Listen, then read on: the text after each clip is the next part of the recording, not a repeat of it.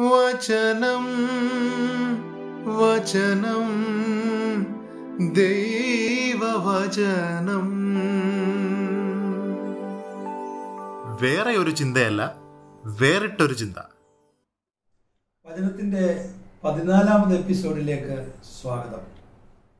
അപ്പസ്തലായ പൗലോസ് കൊരിന്തിലുള്ള വിശ്വാസികൾക്ക് എഴുതിയ ഒന്നാമത്തെ ലേഖനം അതിന്റെ രണ്ടാം അധ്യായം എട്ട് ഒൻപത് വാക്യങ്ങൾ. അത് ഈ ലോകത്തിന്റെ പ്രഭുക്കന്മാർ ആരും അറിഞ്ഞില്ല. അറിഞ്ഞിരുന്നുവെങ്കിൽ അവർ തേജസ്സിന്റെ കർത്താവിനെ ക്രൂശിക്കുകയില്ലായിരുന്നു. ദൈവം തന്നെ സ്നേഹിക്കുന്നവർക്ക് ഒരുക്കിയിട്ടുള്ളത് കണ്ണു കണ്ടിട്ടില്ല ചെവി കേട്ടിട്ടില്ല ഒരു മനുഷ്യന്റെയും ഹൃദയത്തിൽ തോന്നിയിട്ടുമില്ല എന്ന് എഴുതിയിരിക്കുന്നത് പോലെ തന്നെ പരസ്പര ബന്ധിതമായ രണ്ട് വാക്യങ്ങൾ. ഇതിൽ രണ്ടാമത്തെ വാക്യം അല്ലെങ്കിൽ രണ്ടാമത്തെ ഭാഗം നാം ധാരാളമായി ആവർത്തിച്ച് കേട്ടിട്ടുള്ള ഒരു വാക്യഭാഗമാണ്. എന്നാൽ ആ വാക്യം വ്യാഖ്യാനിക്കുന്നവർ ഭൂരിഭാഗം ആളുകളും ഭൗതികമായ നേട്ടങ്ങൾ ഭൗതികമായ നന്മകൾ മറുപടികൾ പ്രാർത്ഥനയുടെ മറുപടികൾ ഇവയ്ക്ക് ഉപോത്ബലകമായിട്ടാണ് ഈ വാക്യം ഉപയോഗിച്ചിട്ടുള്ളത്. ഒന്നുകൂടെ ഞാനിത് വായിക്കുമ്പോൾ നിങ്ങൾക്ക് മനസ്സിലാകും. ദൈവം തന്നെ സ്നേഹിക്കുന്നവർക്ക് ഒരുക്കിയിട്ടുള്ളത് കണ്ണു കണ്ടിട്ടില്ല ചെവി കേട്ടിട്ടില്ല ഒരു മനുഷ്യന്റെയും ഹൃദയത്തിൽ തോന്നിയിട്ടുമില്ല. അത്രയും ഭാഗം മാത്രം പറഞ്ഞുകൊണ്ട് ആളുകൾ ഈ വാക്യത്തെ വ്യാഖ്യാനിക്കുന്നത് കണ്ടിട്ടുണ്ട് കേട്ടിട്ടുണ്ട്. എന്നാൽ വ്യക്തമായി തിരുവചനം വായിക്കുമ്പോഴാണ് ഈ വാക്യത്തിന്റെ പ്രസക്തി എന്താണ് അല്ലെങ്കിൽ ഇതിന്റെ പശ്ചാത്തലം എന്താണ്? എന്തുകൊണ്ടാണ് അപ്പോസ്തലനായ പൗലോസ് കൊരിന്തിനുള്ള സഭയ്ക്ക് ഒന്നാമത്തെ ലേഖനം എഴുതിയപ്പോൾ ഇത് ഉദ്ധരിച്ചത്?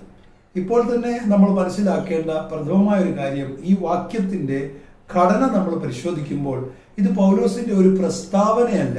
ഇത് അപ്പോസ്തലനായ പൗലോസിന്റെ ഒരു ഉദ്ധരണിയാണ് എന്ന് പറഞ്ഞാൽ അദ്ദേഹം പഴയ നിയമത്തിൽ നിന്ന് അതായത് യശ്യാ പ്രവചനം അറുപത്തിനാലാം അധ്യായം ഐസിയ ചാപ്റ്റർ സിക്സ്റ്റി ഫോർ അറുപത്തിനാലിന്റെ നാലാം വാക്യം വേഴ്സ് ഫോർ നീ അല്ലാതെ ഒരു ദൈവം തന്നെ കാത്തിരിക്കുന്നവന് വേണ്ടി പ്രവർത്തിക്കുന്നത് പണ്ട് മുതലാരും കേട്ടിട്ടില്ല ഗ്രഹിച്ചിട്ടില്ല കണ്ണുകൊണ്ട് കണ്ടിട്ടുമില്ല.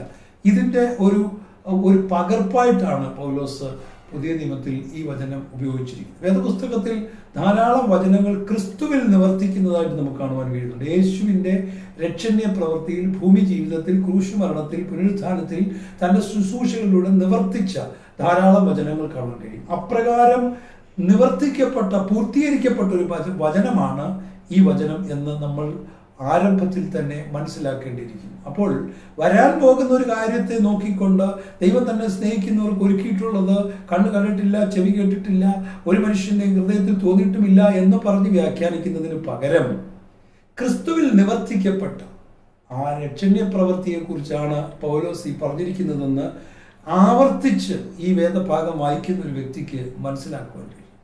നമ്മളിൽ ആ, പ്രായപൂർത്തിയായവരുടെയിൽ ഞങ്ങൾ ജ്ഞാനം സംസാരിക്കുന്നു എന്ന് പറഞ്ഞാണ് രണ്ടാം അധ്യായം ആറാം വാക്യം. കുരിന്തിർക്കെഴുതി ഒന്നാം രണ്ടിന്റെ ആറിൽ പൗലോസ് പറയുന്നത്. ഈ ലോകത്തിന്റെ ജ്ഞാനം അല്ല നശിച്ചു പോകുന്നവരായ ഈ ലോകത്തിന്റെ പ്രഭുക്കന്മാരുടെ ജ്ഞാനവുമല്ല. ദൈവ ലോക സൃഷ്ടിക്ക് മുമ്പേ നമ്മുടെ തേജസ്സിനായി മുൻനിയമിച്ചതും മറഞ്ഞിരുന്നതുമായ ദൈവത്തിന്റെ ജ്ഞാനം. മുൻനിയമിച്ചതും മറിഞ്ഞിരുന്നതുമായ ദൈവത്തിന്റെ ജ്ഞാനം അതെന്ന് പറയുന്നത് ക്രിസ്തു ക്രിസ്തുവിലൂടെ സഭ. അതാണ് ദൈവത്തിൽ മറിഞ്ഞിരുന്ന ജ്ഞാനം. ക്രിസ്തുവിലൂടെയുള്ള രക്ഷണ്യ പദ്ധതിയും അതിലൂടെ ഉളവാകുന്ന സഭയും. ആ ആ ആത്മീക മർമ്മത്തെ അതായത് ക്രിസ്തുവിലൂടെ സഭ ഉളവാകുവാൻ മുഖാന്തരമായി തീർന്ന ദൈവിക പ്രവൃത്തിയെ വർണിക്കുന്ന ഒരു വേദഭാഗമാണ് ഇത്. അതുകൊണ്ടാണ് ഞാൻ എട്ടാം വാക്യം ചേർത്ത് വായിച്ചത്. അത് ഈ ലോകത്തിന്റെ പ്രഭുക്കന്മാർ ആരും അറിഞ്ഞില്ല. അറിഞ്ഞിരുന്നുവെങ്കിൽ അവർ തേജസ്സിന്റെ കർത്താവിനെ ക്രൂശിക്കില്ല ആ കർത്താവിനെ എടുത്തു കാണിക്കുവാൻ വേണ്ടിയാണ് ഈ ഒൻപതാമത്തെ വാക്യം പറഞ്ഞിരിക്കുന്നത്. ദൈവം തന്നെ സ്നേഹിക്കുന്നവർക്ക് ഒരുക്കിയിട്ടുള്ളത് കണ്ണ് കണ്ടിട്ടില്ല ചെവി കേട്ടിട്ടില്ല ഒരു മനുഷ്യന്റെ ഹൃദയത്തിൽ തോന്നിയിട്ടുമില്ല എന്ന് എഴുതിയിരിക്കുന്നത് പോലെ തന്നെ പുറകിലേക്ക് ന്യായപ്രമാണത്തിലേക്ക് വിരൽ ചൂണ്ടിക്കൊണ്ടാണ് പൗലോസ് അല്ലെ പ്രവാചക പുസ്തകങ്ങളിലേക്ക് യഹൂദന്റെ പഴയ നിയമത്തിലേക്ക് വിരൽ ചൂണ്ടിക്കൊണ്ടാണ് പൗലോസ് പറയുന്നത്. അവിടെ എഴുതിയിരുന്നത് അറിഞ്ഞിരുന്നുവെങ്കിൽ ആരെക്കുറിച്ച് എഴുതിയിരുന്നത്? യേശുവിനെ കുറിച്ച് എഴുതിയിരുന്നുവെങ്കിൽ. വചനം വായിക്കുമ്പോൾ വചനത്തിന്റെ ഓരോ എപ്പിസോഡിലൂടെയും നമ്മൾ ശ്രദ്ധിക്കുന്നത് ആവർത്തിച്ച് വായിച്ച് വചനത്തിന്റെ പശ്ചാത്തലം എന്താണ് അതിന്റെ നാം ഗ്രഹിക്കേണ്ട വസ്തുത എന്താണ് അത് മനസ്സിലാക്കി മുൻപോട്ട് പോകുവാൻ ഈ വാക്യം ക്രിസ്തുവിലൂടെ നമുക്ക് നൽകപ്പെട്ട ദൈവിക വലിയ നിവൃത്തിയെ ഓരോ ദിവസവും മനസ്സിലാക്കി അതിന് നന്ദി പറഞ്ഞുകൊണ്ട് ചരിത്രത്തിൽ നിവർത്തിക്കപ്പെട്ടതും നമ്മുടെ രക്ഷയ്ക്ക് നിദാനമായി തീർന്നതുമായ ക്രിസ്തുവിന്റെ മഹാപ്രവൃത്തിയെ ഓരോ ദിവസവും ധ്യാനിച്ചു മുന്നേറുവാൻ ഈ പുതുവർഷത്തിൽ ദൈവം നമുക്ക് കൃപ തരട്ടെ എന്ന പ്രാർത്ഥനയോടെ വചനം എപ്പിസോഡിന്റെ പതിനാലാമത്തെ ഭാഗം ഇവിടെ അവസാനിക്കുന്നു. മറ്റൊരു ഭാഗവുമായി നമ്മൾ ഒരുമിച്ച് കണ്ടുമുട്ടും വരെ സർവശക്തന്റെ കൃപ നമ്മളെല്ലാവരോടും കൂടെ ഇരിക്കുമാറാകട്ടെ.